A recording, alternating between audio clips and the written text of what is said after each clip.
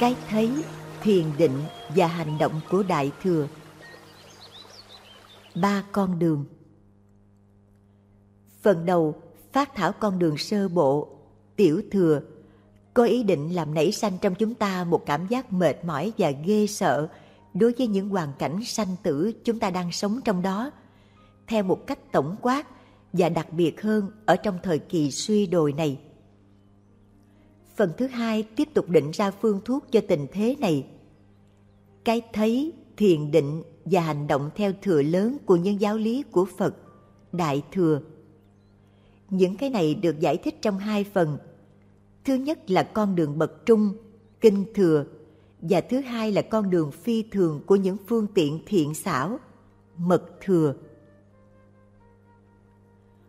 Con đường của những kinh điển quy y sanh tử như chúng ta đã thấy là không gì cả ngoài khổ đau. Thế nên chúng ta cảm thấy quyết tâm giải thoát chúng ta khỏi nó. Tuy nhiên để thực sự làm thế chúng ta cần sự giúp đỡ. Rõ ràng chúng ta chỉ hy vọng có sự giúp đỡ mình cần nơi một bậc hoàn toàn giác ngộ. Người ấy hoàn toàn giải thoát khỏi sanh tử. Bởi thế giờ đây, tại sao Patrun Rinpoche kêu gọi đến vị Phật của Đại Bi, Đức Quán Thế Âm? 22. Ôi, nguồn của Đại Bi, bổn sư của con, Đức Quán Thế Âm, Ngài là vị bảo hộ độc nhất của con. Thần chú sáu chữ, tinh túy của lời Ngài là Pháp Thiên Liêng từ giờ này trở đi con không có hy vọng nào ngoài ngài. Quán thế âm là một vị phật hoàn toàn giác ngộ. Để làm lợi lạc chúng sanh, ngài đã mang lấy hình thức của một bồ tát. Tất cả chư phật chỉ có một bản tánh và lòng của các ngài được hiện thân trong quán thế âm. Như là hiện thân của lòng bi của tất cả chư phật Quán Thế Âm đồng thời là nguồn gốc của tất cả chư Phật và chư Bồ Tát. Bởi vì lòng bi là cội gốc của giác ngộ. Quán Thế Âm là bản thân lòng bi trong hình thức một hóa thần.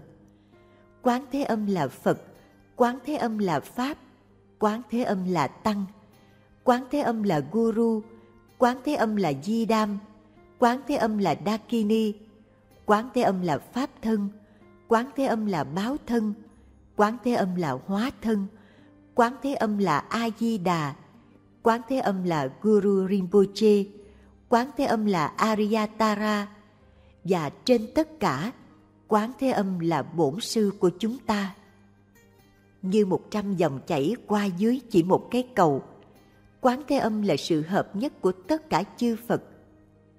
Nhận những ban phước của ngài là nhận những ban phước của tất cả chư Phật và chứng ngộ bản tánh của Ngài là chứng ngộ bản tánh của tất cả chư Phật. Quán Thế Âm đã xuất hiện trong thời đại đen tối này trong con người của Guru Rinpoche, Padma Sambhava mà trí huệ, đại bi và thần lực thì nhanh lẹ hơn của vị Phật nào khác. Vì chính riêng biệt để làm lợi lạc cho chúng sanh của thời đại này – mà Ngài phát những lời cầu nguyện của mình. Quán Thế Âm biểu lộ thành vô số hình thức, những vua chúa, vị thầy tâm linh, đàn ông và đàn bà bình thường, thú rừng, ngay cả núi, cây, cầu, bất cứ cái gì cần thiết để đáp ứng những nhu cầu của chúng sanh. Ngay cả một ngọn gió mát lành trong khí hậu nóng chảy, hay một phút giây êm dịu nhẹ nhõm trong một cơn bệnh đau đớn cũng là những biểu lộ của lòng bi quán thế âm. Tương tự, thần chú sáu chữ của quán thế âm Omani Padme Hum là trí huệ bi mẫn của tất cả chư Phật biểu lộ thành âm thanh. Nó chứa đựng trong mình yếu nghĩa của tất cả 84.000 phần của những giáo lý của Phật. Trong tất cả nhiều thần chú của nhiều loại khác nhau, như là những minh chú, Dharani và mật chú, không có cái nào cao hơn sáu chữ của quán thế âm. Những lợi lạc lớn lao của việc trì tụng thần chú này thường được biết như là mani, được diễn tả trở đi trở lại trong tất cả những sutra, kinh và tantra. Có nói rằng trì tụng chú mani chỉ một lần thì cũng đồng như trì tụng toàn bộ 12 ngành giáo lý của Phật. Trì tụng sáu chữ của Mani hoàn thiện sáu ba la mật và đóng chặt mọi khả năng tái sanh trong sáu cõi của sanh tử luân hồi. Đây là một thực hành đơn giản, dễ hiểu và dễ thực hành cho tất cả, và đồng thời nó chứa đựng tinh túy của Pháp. Nếu các bạn lấy Mani như là chỗ quy y của các bạn, cả trong hạnh phúc lẫn trong buồn đau, Quán Thế Âm sẽ luôn luôn ở với các bạn – các bạn sẽ cảm thấy càng lúc càng nhiều hơn lòng sùng mộ mà không phải có cố gắng nào và tất cả sự chứng ngộ của con đường đại thừa sẽ tự nó khởi lên trong lòng con người các bạn. Theo kinh Karandavuha, kinh Đại Thừa Trang Nghiêm Bảo Dương, nếu các bạn trì tụng 100 triệu mani, tất cả vô số cơ thể sống ở trong thân thể của các bạn sẽ được ban phước bởi quán thế âm – và khi các bạn chết, ngay cả khói từ sự thiêu xác các bạn sẽ có năng lực che chở cho bất cứ ai hít vào khỏi tái sanh trong những cõi thấp. Ngay cả chỉ một chữ của bản thân thần chú Om, Ma hay Ni mang năng lực không thể nghĩ bàn để ban phước và giải thoát cho chúng sanh. Có nói rằng một vị Phật có khả năng với những kỳ công phi thường vượt mọi chúng sanh khác, như xác định chính xác bao nhiêu giọt mưa rơi xuống trong một trận mưa kéo dài 12 năm. Nhưng ngay cả Ngài cũng không thể diễn tả đầy đủ công đức sanh ra bởi chỉ một lần trì tụng ma ni. Để bắt đầu cho một diễn tả như thế, ngay nếu tất cả rừng cây trên trái đất được biến thành giấy, cũng không bao giờ đủ để viết ra một phần nhỏ nhất không có cái gì trên toàn thể thế giới có thể làm cho thần chết sợ hãi tránh xa. Vậy mà ánh sáng chói lọi ấm áp của lòng bi của quán thế âm có thể hoàn toàn xua tan cảm giác khiếp sợ của người nào khi thần chết đến gần. Đây là điều có nghĩa là chỗ nương dựa không lầm lẫn. Hoàn toàn tự do với sanh tử, quán thế âm luôn luôn sẵn sàng cứu giúp chúng sanh – và ngay cử động nhỏ nhất của Ngài, một cử chỉ của bàn tay, một chớp mắt của Ngài có năng lực giải thoát chúng ta ra khỏi sanh tử. Khi chúng ta cầu khẩn Ngài bằng cách trì tụng Mani, chúng ta không bao giờ nên nghĩ rằng Ngài quá xa để nghe chúng ta. Trong một cõi Phật nào xa xôi, Quán Thế Âm luôn luôn ở đó với bất cứ người nào tin vào Ngài những che chướng của chúng ta ngăn cản chúng ta không thực sự đến được núi Potala trong cõi cực lạc thanh tịnh Sukhavati để gặp Ngài mặt đối mặt. Nhưng thật ra, lòng đại bi của Ngài không bao giờ bỏ rơi một chúng sanh nào. Ngài tự biểu lộ thường trực trong bất cứ hình thức nào lợi lạc cho chúng sanh nhất, đặc biệt trong hình thức của những vị thầy tâm linh vĩ đại – Thế nên chúng ta cần hiểu với sự tin tưởng hoàn toàn rằng Quán Thế Âm, bậc bảo hộ tối thượng chỉ cho tất cả chúng sanh con đường đến giải thoát, thật ra không ai khác hơn là bổn sư của chúng ta. Cơn mưa của lòng bi Quán Thế Âm rơi khắp nơi trên những cánh đồng của chúng sanh một cách bình đẳng. Nhưng vụ mùa của hạnh phúc không thể lớn lên nơi nào những hạt giống của niềm tin đã bị khô héo thiếu niềm tin là tự đóng kín với mặt trời rực rỡ của sự ban phước của Ngài, như thể đóng cửa giam mình trong một phòng tối. Nhưng nếu các bạn có niềm tin thì không có khoảng cách, không có chậm trễ giữa các bạn và sự ban phước của Quán Thế Âm. Những lời dạy của Đức Phật thì rộng lớn và sâu xa không thể nghĩ bàn đạt được một thấu hiểu hoàn toàn trí thức về những lời dạy ấy, quả thực là một thành tựu đáng kể và hiếm hoi nhưng ngay bản thân điều đó cũng chưa đủ trừ phi chúng ta cũng thành tựu nội chứng nhờ thực sự áp dụng những lời dạy và hòa lẫn chúng với tâm thức chúng ta. Còn không thì bất cứ hiểu biết nào chúng ta có được đều vẫn là lý thuyết và sẽ chỉ dùng để tăng thêm sự tự say mê mình. Chúng ta đã đọc một số sách và nghe một số lời dạy, nhưng nó không lợi lạc bao nhiêu trong việc thực sự chuyển hóa con người chúng ta. Để đơn thuốc của bác sĩ bên cạnh giường sẽ không chữa lành bệnh. Thế nên, hãy xoay tâm thức các bạn vào trong và suy ngẫm sâu xa ý nghĩa của Pháp cho đến khi nó thấm nhuần toàn thể thân tâm bạn. Đấy là điều Patron Rinpoche nói. 23. Bất cứ cái gì con biết, con đã để cho nó vẫn là lý thuyết. Nó không dùng được cho con bây giờ. Bất cứ cái gì con đã làm, con đã tiêu pha cho cuộc đời này. Nó không dùng gì được cho con bây giờ. Bất cứ cái gì con đã nghĩ toàn là vọng tưởng. Nó không dùng gì được cho con bây giờ. Giờ đây là để làm cái gì thực sự có ích. Hãy trì tụng thần chú sáu âm. Như những ngọn sóng, mọi hoạt động của cuộc đời này trôi qua không ngừng nghỉ. Cái này tiếp cái kia, tuy nhiên đã để lại cho chúng ta tay trắng. Vô số tư tưởng đã đi qua tâm thức chúng ta, mỗi cái sanh ra thêm nhiều cái khác. Nhưng tất cả điều mà chúng ta đã làm chỉ là tăng thêm sự rối ren lầm lạc và bất toại nguyện của chúng ta. Thiền định về tinh túy của những lời dạy và trì tụng ma ni thì không tốt hơn sao? Như chúng ta bây giờ, xa lầy trong một bãi lầy của những khuynh hướng thói quen và bị giam nhốt trong những trói buộc của xúc tình mạnh mẽ. Chúng ta không tự do đủ, cũng không mạnh mẽ đủ để có thể giải thoát cho chúng sanh khỏi sanh tử chúng ta phải trông chờ sự giúp đỡ, không phải bất kỳ loại giúp đỡ nào, mà là sự giúp đỡ chắc chắn của quán thế âm. 24 Sự quy y độc nhất không bao giờ hư mất, Thường trụ là tam bảo. Tinh túy độc nhất của tam bảo là quán thế âm. Giới đức tin toàn vẹn, Không thể lay chuyển vào trí huệ của Ngài. Vững tin và quả quyết, hãy trì tụng thần chú sáu âm. Tìm kiếm sự nương dựa vào các vị trời như Phạm Thiên hay Đế Thích, bởi vì chính họ cũng còn bị giam nhốt trong mạng lưới của sanh tử, không thể là sự giúp đỡ thật sự.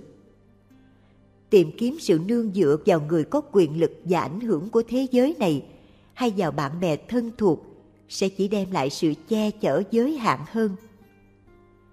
Không có núi non, ngôi sao hay những hiện tượng thiên nhiên nào khác cung cấp cho sự an toàn chân thật. Không có cái nào trong chúng là nguồn gốc tối hậu của sự quy y. Nếu các bạn đang ở trong tù ngục và muốn thoát ra, các bạn phải tìm kiếm sự giúp đỡ từ người nào có quyền năng giải cứu các bạn, chứ không từ một tù nhân khác để có thể giải thoát chúng ta khỏi xoáy nước của sanh tử. Nền tảng của sự quy y chúng ta tìm kiếm phải là cái gì tự nó đã hoàn toàn tự do. Chỉ có một nguồn gốc quy y thoát khỏi mọi giới hạn của sanh tử, đầy đủ mọi phẩm tính và thành tựu tối hậu và có lòng bi vô hạn có thể đáp ứng phổ khắp cho những nhu cầu của chúng sanh và dẫn dắt họ suốt con đường đến giác ngộ. Tam bảo Tam bảo là Phật, Pháp và Tăng. Phật là vị thầy, bậc hiển bày bốn thân và năm trí. Pháp là con đường, những lời dạy được trao truyền và được chứng ngộ. Tăng là những người đồng hành trên con đường, họ hiểu ý nghĩa của những lời dạy và kết quả là được giải thoát. Qua niềm tin và sự sùng mộ tam bảo, chúng ta sẽ đến chỗ thấu hiểu rằng đấy không phải là ba thực thể riêng biệt mà là thân, ngữ và tâm của Quán Thế Âm, Đức Phật của Đại Bi. Tâm Ngài là Phật, ngữ Ngài là Pháp và thân Ngài là Tăng. dù bây giờ chúng ta chưa thể gặp quán thế âm bằng con người thật của ngài chúng ta cần thức giác về những phẩm tính vô biên của ngài như diễn tả trong kinh và tantra chúng ta cũng cần nhớ rằng quán thế âm thì không tách lìa với thầy của chúng ta. Người chỉ dạy cho chúng ta pháp quý báu. Cảm nhận sâu xa lòng từ ái vĩ đại này, cầu nguyện đến ngài và trì tụng thần chú sáu chữ. Không nghi ngờ gì mọi ngăn chướng nghiệp quả và phiền não tiêu cực của chúng ta sẽ được tẩy sạch. Thời gian sẽ có lúc chúng ta sẽ thực sự đến với sự hiện diện của quán thế âm trong cõi phật của ngài ở đó, ngài chuyển bánh xe pháp đại thừa cho đoàn tùy tùng bồ tát của ngài. Quy y là cửa vào pháp. Nó là chung cho cả ba thừa và là nền tảng trên đó mọi thực hành nương dựa vào. Tuy nhiên, thái độ đối với sanh tử khiến cho người ta quy y thì không luôn luôn giống nhau. Sợ hãi khổ đau trong sanh tử và bởi thế quy y vì chính mình là một động cơ kém. Động cơ tốt nhất là ước muốn giải thoát tất cả chúng sanh, hoàn toàn thoát khỏi khổ đau của sanh tử và an lập họ trong trạng thái của giác ngộ. Quy y với tư tưởng ấy là thái độ của đại thừa. Nếu sự quy y là đích thực và chân chánh, niềm tin không lay chuyển cần được khai triển niềm tin là một yếu tố sống còn trong con đường, mở cho chúng ta với những ban phước của phật. Mong muốn đạt được chứng ngộ mà không có đức tin thì giống như ngồi trong một hang động hướng bắc mà chờ đợi ánh sáng mặt trời rọi vào. Có bốn giai đoạn trong sự phát triển của niềm tin. Niềm tin trong sáng, niềm tin mong mỏi, niềm tin xác tín và niềm tin không thể đảo ngược khi các bạn ban đầu hiểu được những phẩm tính kỳ diệu và phi thường làm sao của phật, quán thế âm và của thầy các bạn, tâm thức các bạn trở nên rất trong sáng và hoan hỷ. Đây là niềm tin trong sáng.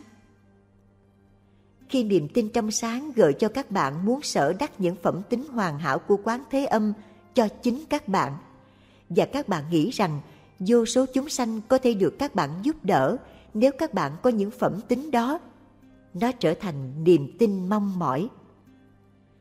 Khi các bạn biết với sự chắc chắn hoàn toàn rằng những phẩm tính của quán thế âm là thực như chúng được diễn tả bởi chính đức phật, nó trở thành niềm tin xác tín cuối cùng, khi niềm tin đã trở thành một phần của bản thân các bạn, đến nỗi với cái giá của đời mình, không có cách nào cho bạn có thể từ chối nó.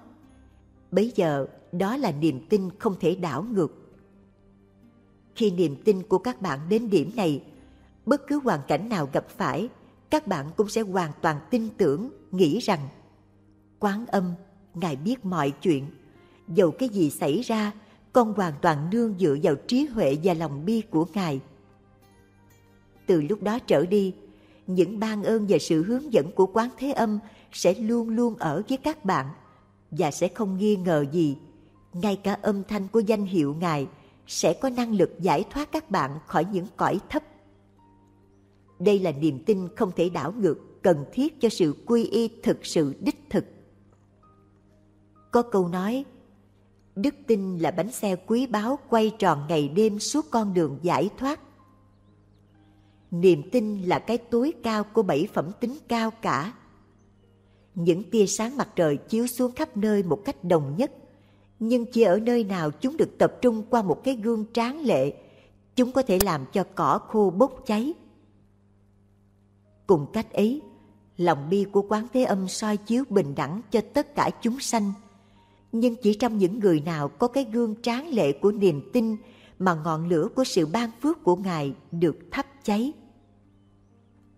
Sẽ thiển cận nếu chỉ quy y cho chỉ đời này hay chỉ đến khi các bạn chữa khỏi mọi bất hạnh hiện giờ. Sự cam kết quy y của các bạn nên kéo dài đến khi tất cả chúng sanh đều đã đạt được giác ngộ. Khi các bạn có thể dâng hiến thân ngữ và tâm thức mình cho quán thế âm với niềm tin đích thực nương dựa hoàn toàn vào ngài trong bất cứ hoàn cảnh tốt hay xấu nào. Bây giờ các bạn đang quy y trong nghĩa đầy đủ nhất, sự quy y đích thực của Đại Thừa.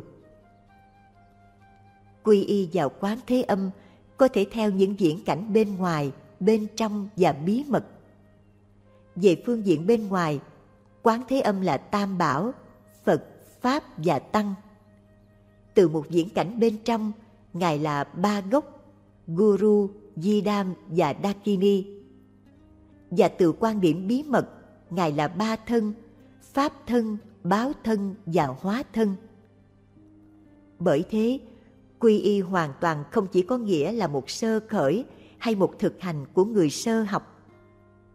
Thật vậy, nó gồm toàn bộ con đường trong tất cả sự sâu xa của nó đến tới giác ngộ. Tuy nhiên, dầu nhiều mức độ quy y có thể được phân biệt, chúng ta có thể đáp ứng tất cả chúng chỉ bằng đơn giản trì tụng thần chú sáu chữ với lòng tin và xác tín rằng vị thầy của chúng ta không tách biệt với quán thế âm là tinh túy độc nhất của tam bảo trong mọi phương diện của chúng. Đức Atisa mà trí huệ và chứng ngộ không ai sánh của Ngài đã khiến cho Ngài được tôn xưng khắp miền Bắc và miền Đông Ấn Độ như là vị Phật thứ hai đã qua Tây Tạng. Nơi đây, Ngài dạy sự lợi lạc của quy y rất nhiều lần, đến nỗi mọi người bắt đầu gọi Ngài là Pandita Quy Y. Khi nghe đây là danh hiệu các học trò gán cho mình, Ngài kêu lên. Được cho danh hiệu này là một vinh dự. Thật vậy, bởi vì có gì tuyệt hảo hơn sự quy y Phật. Tư tưởng giác ngộ đã thấu hiểu sự quan trọng của niềm tin và của quy y. Bây giờ chúng ta đi đến tinh túy của Đại Thừa, tư tưởng giác ngộ. 25 Nền tảng của con đường Đại Thừa là tư tưởng giác ngộ. Tư tưởng cao cả này là con đường duy nhất tất cả chư Phật đều dẫm bước. Không bao giờ bỏ con đường cao cả của tư tưởng giác ngộ với lòng bi cho tất cả chúng sanh hãy trì tụng thần chú sáu âm. Tư tưởng giác ngộ, bồ đề tâm là mong muốn đạt đến giác ngộ vì lợi lạc của tất cả chúng sanh. Bồ đề tâm có hai phương diện, tương đối và tuyệt đối. Bồ đề tâm tuyệt đối là sự nhận biết phật tánh hiện diện vốn sẵn có trong mỗi chúng sanh và chỉ có thể thấu hiểu bởi những ai chứng ngộ tánh không của tất cả hiện tượng. Bởi vì không dễ dàng thấu hiểu nó một cách trọn vẹn. Chúng ta thường bắt đầu với sự thực hành Bồ đề tâm tương đối, nó ít khó khăn hơn. Bồ đề tâm tương đối cũng được chia làm hai, nguyện vọng và áp dụng.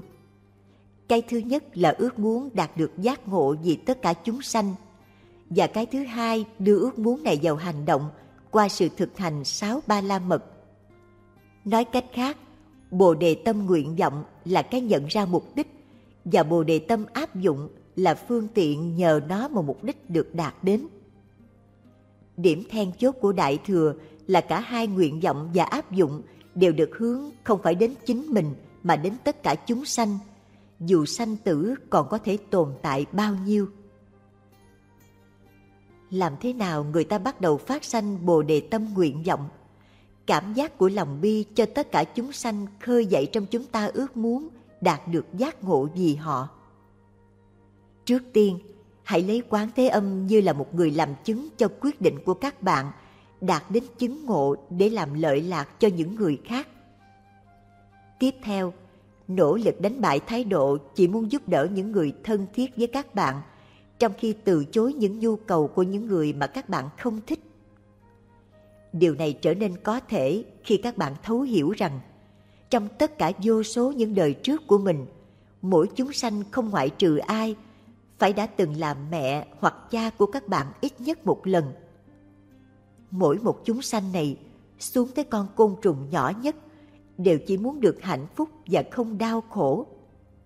Nhưng không có ai trong số họ biết rằng khổ là do các hành động xấu gây ra và hạnh phúc là do một tâm đức hạnh phát sanh khi các bạn nghĩ về tất cả những chúng sanh này họ đang chìm đắm một cách vô vọng trong khổ đau như những người mù lạc trong một sa mạc bao la. Các bạn không thể cứu giúp nhưng cảm thấy một lòng đại bi cho tất cả họ. Để triển khai lòng bi này hơn nữa, hãy tưởng tượng chính các bạn đang ở trong những cõi địa ngục. Thình lình trước mắt các bạn, cha mẹ các bạn bị các tay sai của thần chết gia ma kéo lê trên đất. Chúng đánh đập họ giả mang, đâm chém họ với vũ khí sắc bén, bỏ họ vào giạc đồng cháy bỏng và ép họ với những tấm sắt nóng đỏ. Trông thấy sự hấp hối khủng khiếp của họ, chẳng lẽ các bạn không cảm thấy thương xót ngập tràn và sự khẩn thiết không thể kiềm chế lao đến tức thời để cứu họ? Khi cảm giác mạnh mẽ này của lòng bi khởi lên rõ ràng, hãy suy nghĩ một chút. Cha mẹ còn sống của các bạn chỉ là hai người trong số vô cùng những chúng sanh. Tại sao con số vô cùng những chúng sanh khác cũng không đáng để bạn bi mẫn ư?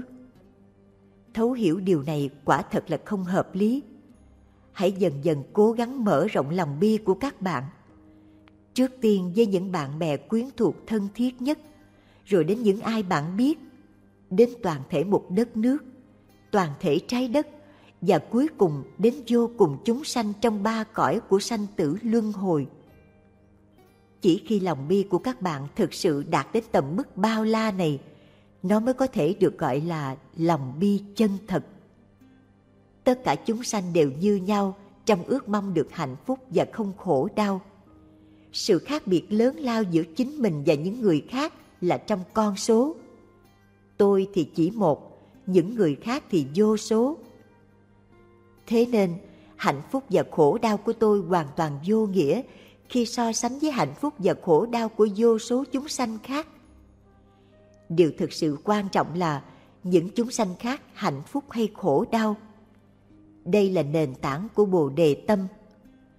Chúng ta cần phải mong muốn những người khác được hạnh phúc hơn chính chúng ta và chúng ta đặc biệt cần phải mong muốn hạnh phúc cho những người mà chúng ta xem như những kẻ thù và những người đối xử xấu với chúng ta.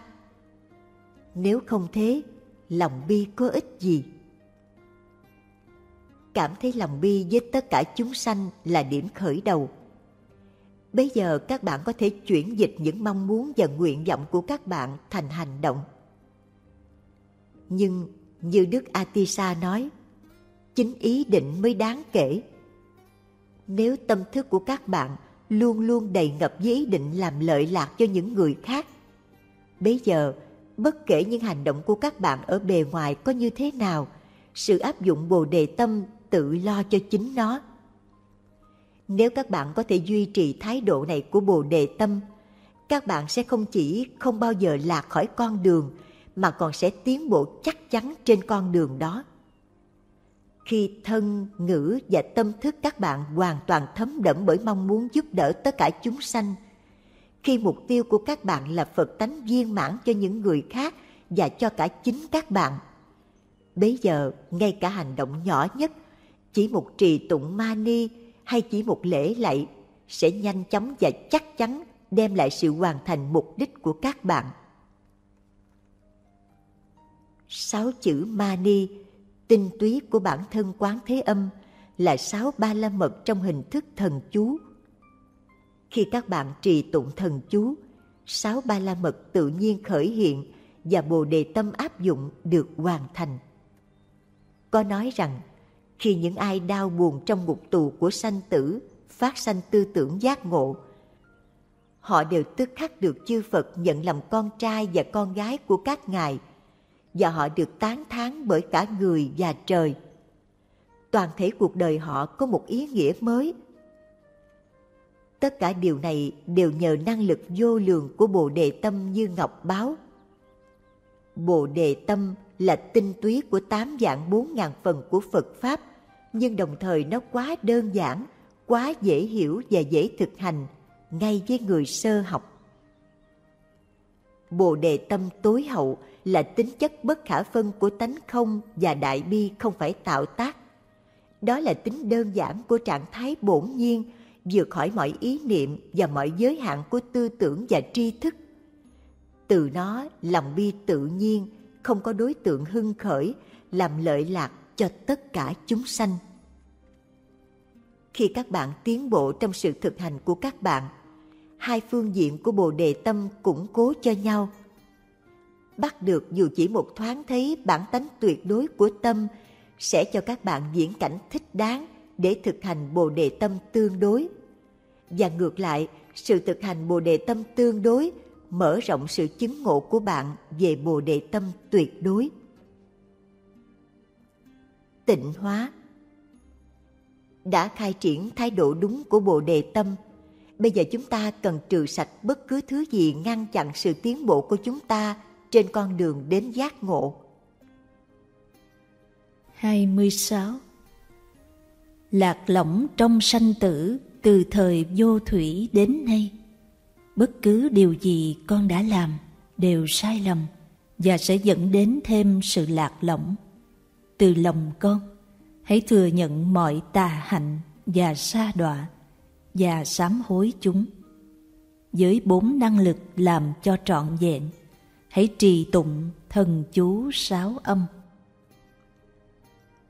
Trong những đời quá khứ và trong đời này cho tới bây giờ, chúng ta đã đem đến sự thiệt hại cho những người khác vô số lần bằng cách nói dối họ, lừa gạt họ, ăn trộm của họ, phá hoại họ, tấn công họ, giết họ và mọi thứ việc làm sai lầm khác. Cái xấu được tích tập này là cái đã giam giữ chúng ta trong sanh tử. Và bây giờ, nó chính là cản trở chính cho sự tiến bộ của chúng ta trên con đường. Nó nuôi dưỡng hai loại che chướng, ngăn cách giữa chúng ta và kinh nghiệm về phật tánh. Sự che chướng bởi phiền não và sự che chướng của cái có thể được biết. Tuy nhiên, tình thế của chúng ta không hoàn toàn tuyệt vọng. Như những đạo sư kadamba thường nói điều tốt độc nhất về tà hạnh là nó có thể được tịnh hóa. Những hành động xấu là những hiện tượng duyên hợp, thế nên chúng phải vô thường. Do đó, như đức phật nói, không có lỗi lầm nào trầm trọng đến nỗi nó không thể được tịnh hóa bởi bốn năng lực. Bốn năng lực này là những phương tiện qua chúng sự tịnh hóa mọi tà hạnh có thể được thực hiện năng lực thứ nhất là năng lực của nương tựa. Nương tựa ở đây ám chỉ con người hay là hóa thần bổn tôn mà chúng ta chấp nhận và sám hối những lỗi lầm của chúng ta. Và như thế là chỗ nương tựa cho sự tịnh hóa của chúng ta. Trong trường hợp này, chỗ nương tựa là quán thế âm, sự biểu lộ của trí huệ của tất cả chư phật và chư bồ tát. Trong những thực hành khác chỗ nương tựa có thể là Varasattva chẳng hạn, hay 35 Phật của sự sám hối, hay Phật Varochana, mà chỉ âm thanh của danh hiệu cũng đủ giải thoát cho tất cả chúng sanh khỏi những cõi thấp. Nhưng trong nhiều bổn tôn đầy đủ khả năng này, tất cả đều là những biểu lộ của quán thế âm, chỗ nương tựa tinh túy cho sự tịnh hóa. Năng lực thứ hai là sức mạnh của hối tiếc hối tiếc khởi lên tự nhiên khi chúng ta thấu hiểu rằng tất cả khổ đau chúng ta đã trải nghiệm cho đến giờ trong mọi tái sanh vô số của chúng ta trong sanh tử đều do tà hạnh của chúng ta gây ra. Năm tội lỗi với hậu quả trực tiếp, mười hành động bất thiện và những vi phạm trong những lời thệ nguyện của ba thừa. Tất cả chúng ta đã có quá nhiều kiếp sống không thể tính đếm hết và nếu các bạn gom chúng lại cùng một chỗ, tất cả thân thể các bạn đã từng có. Ngay trên những thân thể của tất cả kiếp tái sanh là một côn trùng, cũng tạo thành một đống cao hơn núi tu di. Nếu các bạn tập hợp tất cả những nước mắt đau buồn các bạn đã đổ ra trong những đời quá khứ, chúng có thể tạo thành một đại dương lớn hơn bất cứ đại dương nào trong vũ trụ nhiều ví dụ như thế có thể được tìm thấy trong pháp cao cả của sự nhớ lại rõ ràng. Tất cả khổ đau của những tái sanh không dứt này hoàn toàn là kết quả của những hành động tai hại của các bạn, như nói dối hay giết chóc. chừng nào các bạn còn chưa biết về những hậu quả do các hành động của mình đem lại các bạn chỉ tiếp tục cư xử như một người điên nhưng khi các bạn thấy rõ ràng tất cả các tà hạnh trong quá khứ của các bạn là cái bắt các bạn phải lang thang trong khổ đau không dứt của dòng sanh tử như thế nào. Các bạn bắt buộc phải xúc động bởi hối hận sâu xa về những hành động xấu đã phạm phải, hoàn toàn mất đi sự thôi thúc lập lại chúng. Với sự hối tiếc mạnh mẽ, thành thật, các bạn nên sám hối tất cả những lỗi lầm của các bạn, không chút do dự miễn cưỡng nhưng hối hận tự nó chưa đủ. Những hành động xấu trong quá khứ còn phải được làm cho sạch. Điều này được làm với năng lực thứ ba, năng lực của cái đối trị. Tất cả những hành động xấu đã phạm với thân, ngữ và tâm thức phải được chống lại bằng những đối trị của chúng, những hành động tốt của thân, ngữ và tâm thức. Để đem điều này vào thực hành, với thân các bạn làm những lễ lạy, tôn vinh những nơi chốn thiêng liêng bằng cách đi nhiễu quanh và phụng sự người khác và những giáo lý. Với ngữ, các bạn trì tụng mani. Và với tâm thức, các bạn nghĩ, nếu không có ánh sáng chói lọi của lòng bi của ngài, các bạn sẽ chìm càng lúc càng sâu vào sanh tử như thế nào? Hãy cầu nguyện chuyên chú với sự sùng mộ vĩ đại đến quán thế âm để xua tan mọi che chướng và tiêu cực của các bạn. Để trả lời cho sự cầu nguyện nhiệt thành của các bạn, hãy quán tưởng nước cam lộ trí huệ đổ xuống từ thân thể quán thế âm, rót vào các bạn và tất cả chúng sanh qua đỉnh đầu. Nó tràn đầy thân thể bạn và thân thể của họ và hoàn toàn tẩy sạch mọi che chướng, tà hạnh và xấu xa đến cuối cùng không còn dấu vết nào sót lại. Thân thể của các bạn đã trở thành thanh tịnh và trong suốt như pha lê.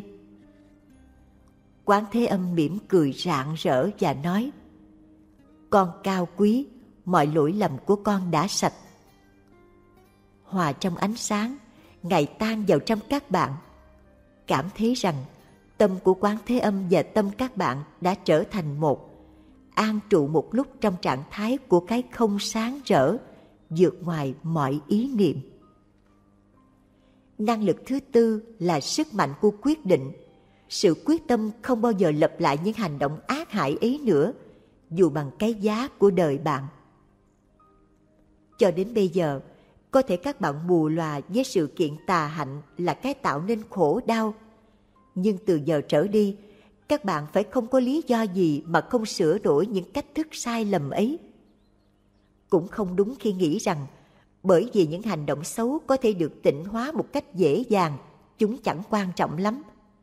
Các bạn phải làm một quyết định quả quyết từ cốt lõi sâu xa của con người các bạn, rằng bất cứ cái gì có xảy ra, bạn cũng sẽ không bao giờ làm hành động nào trái ngược với pháp điều này sẽ đòi hỏi chánh niệm và tinh tấn thường trực. Năng lực thứ tư cũng bao gồm quyết định phải trong sạch trong thân, ngữ và tâm thức. Như quán thế âm. Khi trì tụng thần chú sáu chữ, cái xấu xa tiêu cực và những che chướng của các bạn sẽ tan biến và mọi phẩm tính vốn có sẵn trong trạng thái giác ngộ sẽ bắt đầu chiếu rọi như mặt trời ra khỏi những đám mây. Cúng dường 27.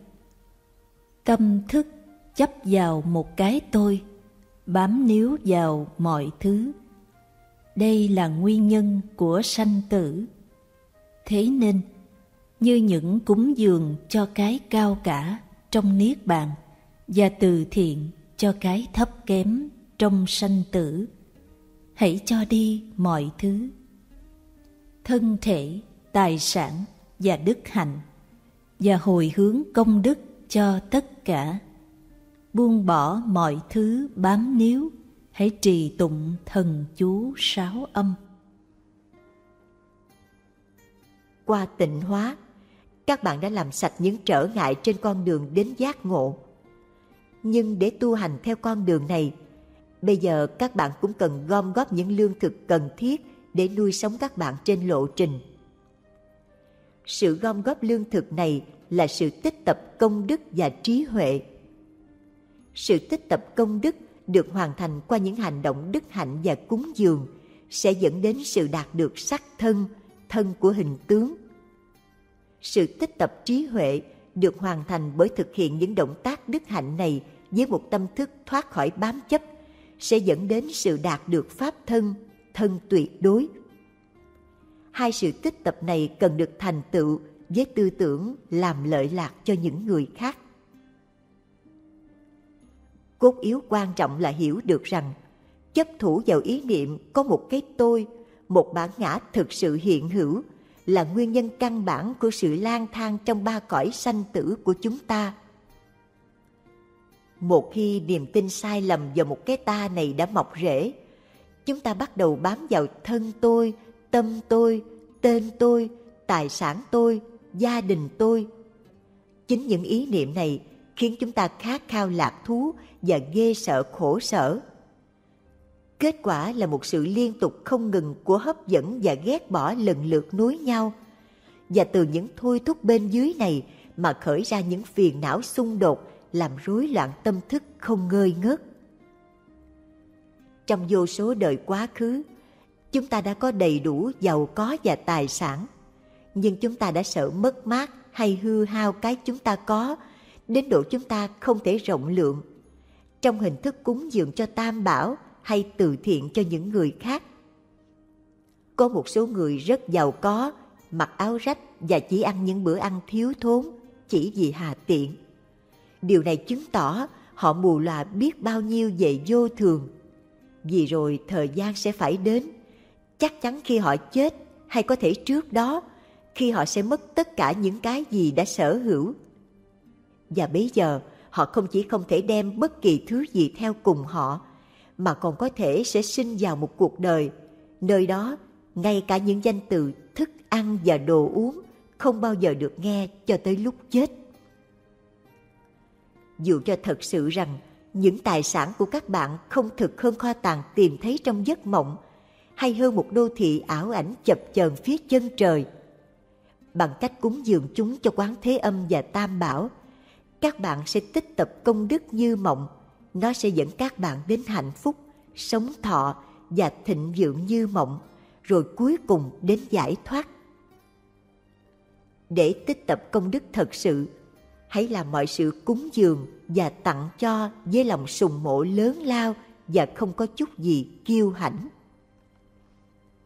Trong mọi thứ sở hữu của mình, chính thân thể là cái chúng ta yêu quý nhất.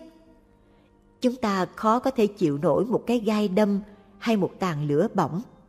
Để lật ngược thói quen bám chấp vào sự tiện nghi và sở hữu của thân thể các bạn, hãy cúng dường thân thể các bạn cho Phật như là một người tôi tớ và cúng dường tất cả tài sản các bạn như một đám mây bao la những phẩm vật cúng dường cho tất cả chư Phật và chư Bồ Tát. Đây là cách thực sự có ý nghĩa để sử dụng chúng. Hơn nữa, với sự tưởng tượng của các bạn, hãy cúng dường tất cả những sự đẹp đẽ trong vũ trụ. Hoa, vườn và rừng, âm nhạc thanh tao, mùi hương thanh nhã, thực phẩm hoàn hảo, ánh sáng mọi loại ngọc báu. Cái tối cao trong những cúng dường này là sự cúng dường thiên liêng mạng Đà La của toàn thể vũ trụ. Núi Tu Di và bốn châu lục, núi Ngọc, cây Như Ý và vân vân. Tóm lại, toàn thể thế giới tràn đầy sự phong phú không cùng của chư thiên và con người. Hãy dâng tặng sự cúng dường vô tận này cho cả hai, những vị an trú trong Niết Bàn, chư Phật và Bồ Tát, và cho những người trong sanh tử, tất cả chúng sanh của sáu nẻo luân hồi. Thêm vào tất cả những sự cúng dường này, có tả trong những kinh và tantra như một đối trị hơn nữa với sự chấp ngã nằm trong gốc rễ của sanh tử, là thực hành rất sâu xa quán tưởng thân thể các bạn chuyển hóa thành cam lồ và rồi được dân cúng cho bốn hạng khách. Trong bốn hạng này, cái thứ nhất là những vị đặc biệt đáng kính trọng và sùng mộ, tam bảo. Cái thứ hai là những vị mà những phẩm tính của họ, khiến họ đáng để cúng dường những hộ pháp cái thứ ba là những người cần bi mẫn tất cả chúng sanh trong sáu nẻo đối với họ hãy quán tưởng rằng sự cúng dường cam lộ của các bạn hóa thành bất cứ thứ gì có thể xoa dịu nỗi khổ của họ. Thức ăn cho người đói, thuốc thang cho người bệnh, áo quần cho người lạnh và chỗ ở cho người không nhà. Loại khách thứ tư là những người mà các bạn mắc những món nợ nghiệp trong đời này và những đời quá khứ.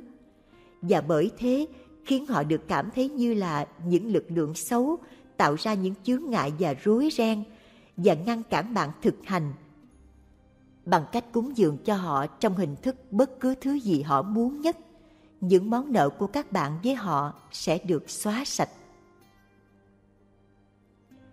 Thần chú sáu chữ cũng có thể được trì tụng như một cúng dường đến tam bảo và đến tất cả chúng sanh.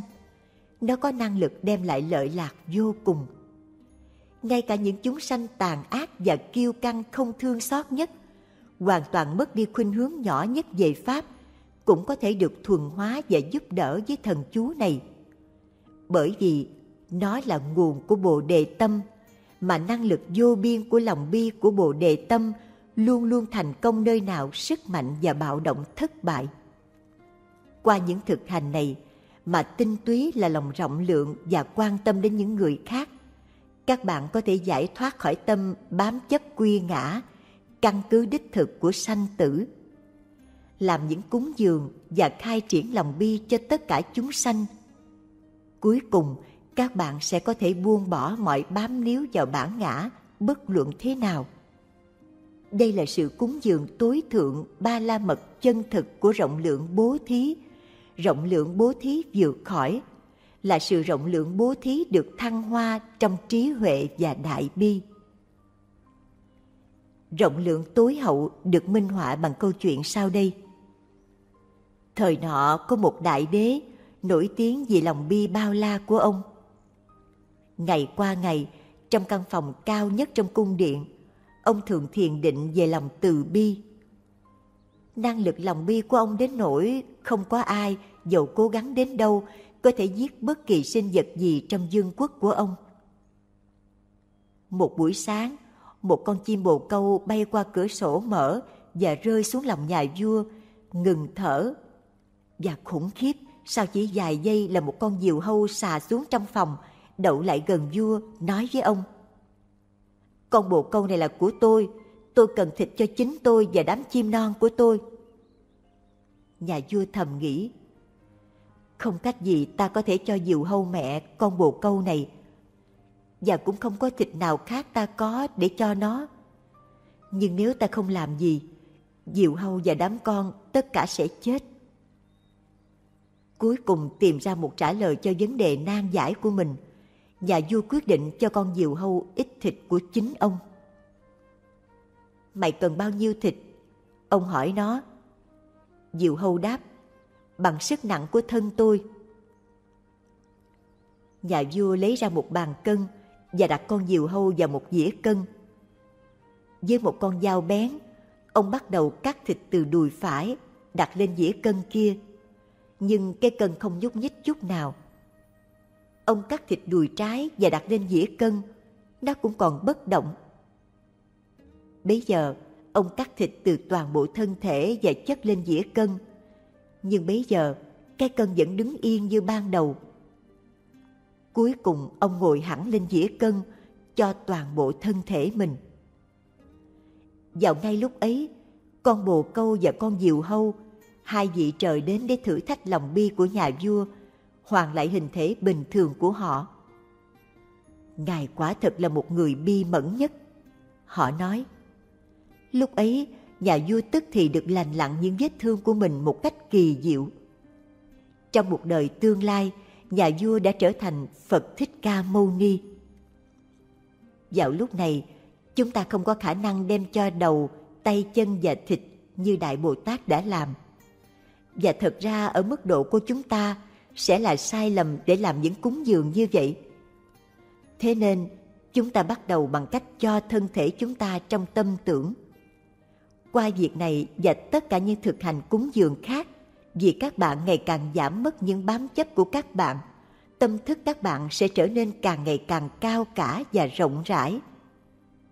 Cuối cùng, các bạn sẽ chứng ngộ bản tánh trống không của cái ngã. Bây giờ, các bạn sẽ có thể hoàn thiện sự tích tập của trí huệ bằng cách làm sự cúng dường hoàn thiện nhất của tất cả, sự chứng ngộ tánh không của tất cả các hiện tượng.